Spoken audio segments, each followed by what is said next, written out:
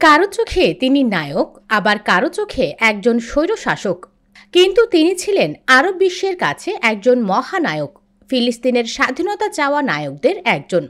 বলছি, মুয়াম্মার গাদ্দাফির কথা, যিনি চেয়েছিলেন মুসলমানরা এক হোক, তাই পুরো আরব বিশ্বকে এক করতে চেয়েছিলেন এই নেতা।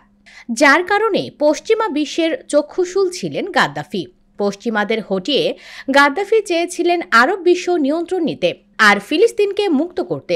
সেজন্য উনিশশো বাহাত্তর সালে ফেডারেশন অব আরব রিপাবলিক্স গঠনের মাধ্যমে আরব দেশগুলোর মধ্যে ঐক্য গড়তে চেয়েছিলেন। তবে এই উদ্যোগ সফল হয়নি নানা কারণে।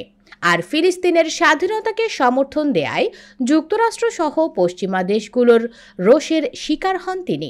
তৎকালীন মার্কিন প্রেসিডেন্ট রোনাল্ড রিগ্যান গাদ্দাফিকে মধ্যপ্রাচ্যের পাগলা কুকুর বলতেন।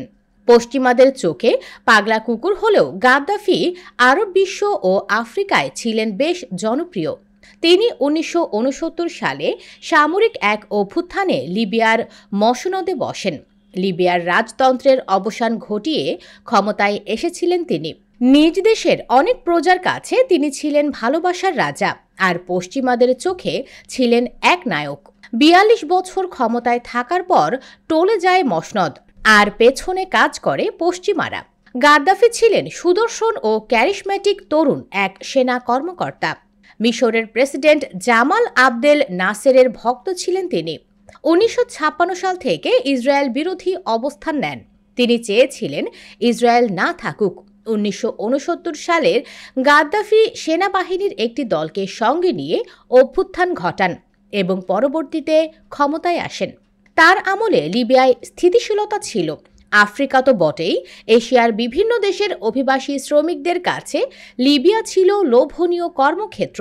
দেশটিতে গিয়ে তারা বিপুল অর্থ আয় করেছেন, জীবনমানের উন্নয়ন করেছেন। অনেকে দারিদ্রের দুষ্টচক্র থেকে বেরিয়ে এসেছেন। গাদ্দাফি দেশের তেল উত্তোলনকারী প্রতিষ্ঠানগুলোকে নিয়ন্ত্রণে রাখতে পেরেছিলেন। তার সময়ে লিবিয়া অনেক বেশি তেল সমৃদ্ধ দেশে পরিণত হয়। প্রায় পঞ্চাশ হাজার সৈন্য লিবিয়ার এগারোটি সীমান্ত এলাকাকে চারটি জোনে ভাগ করে নিয়ন্ত্রণে রেখেছিল। তিনি তৎকালীন সোভিয়েত ইউনিয়নের সহায়তায় দেশকে অস্ত্রশস্ত্রে সুসজ্জিত করার কাজ করেছিলেন।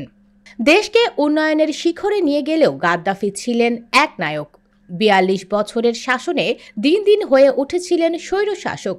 জনগণ লিবিয়া পরিচালনা করে। এমন স্লোগান দিলেও গাদ্দাফির সময়ে জনগণের কথা বলার স্বাধীনতা ছিল না। যে সুযোগ ক্রমাগত কাজে লাগাতে শুরু করে পশ্চিমারা। দুই হাজার নয় সালে গাদ্দাফি আফ্রিকান ইউনিয়নের চেয়ারম্যান নির্বাচিত হন। আফ্রিকার দেশের স্বার্থ নিয়ে জাতিসংঘ অধিবেশনে গাদ্দাফির ঝাঁঝালো বক্তব্য, নীতিমালার অনুলিপি ছিঁড়ে ফেলা পশ্চিমাদের সঙ্গে সম্পর্কে আবারও অবনতি ঘটায়। এসবেরই প্রভাব পড়তে থাকে গাদ্দাফির নিজের সাম্রাজ্যে। দুই হাজার দশ সালের শুরুর দিকে বিশ্ব আন্দোলিত হয় আরব বসন্তের ঢেউয়ে।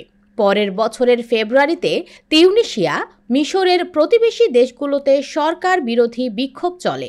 তিউনিশিয়ায় Zine al Abidine Ben Ali ও মিশরে হোসনি মোবারক ক্ষমতাচ্যুত হন। এ সময়েই বেনগাজি শহরে ছড়িয়ে পড়ে গাদ্দাফি বিরোধী বিক্ষোভ। বিক্ষোভ দমনে গাদ্দাফি বেছে নেন সহিংস উপায়, যা তাকে পতনের দিকে ঠেলে দেয়।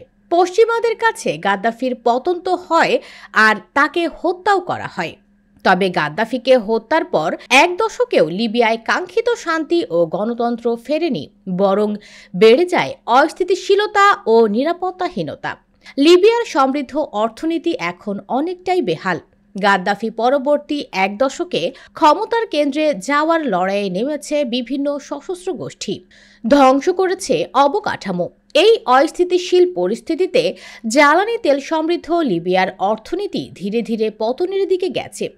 গাদ্দাফিকে হত্যার এক দশক পরে এসেও লিবিয়ার অনেক মানুষ গাদ্দাফি ও তার শাসনামলের কথা মনে রেখেছেন। তারা এখনও গাদ্দাফিকে ভালোবাসে।